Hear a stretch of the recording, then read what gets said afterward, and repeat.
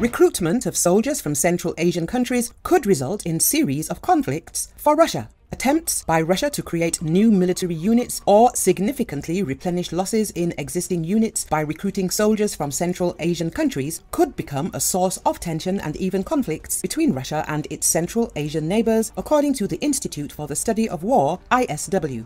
According to analysts at the ISW, the Kremlin's insistence on using the populations of Central Asian countries to replenish losses may create friction between Russia and its neighbors. Central Asian countries are increasingly using laws against mercenaries to punish citizens who fought on the side of Russia against Ukraine. Yes, on November the 28th, a court in Kazakhstan sentenced Alexei Shompolov to six years and eight months of imprisonment on charges of mercenaries. It is reported that Shompolov fought in an artillery unit of the Wagner private military company near Bakhmut.